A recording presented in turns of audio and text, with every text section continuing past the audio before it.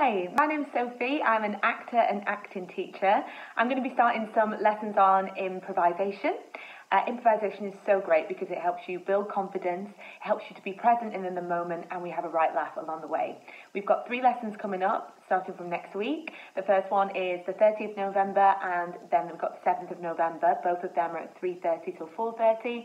And the last one is Wednesday, the 16th of December, and that's from 10.30 to 11.30am. Register from the link in description, and I'll see you there.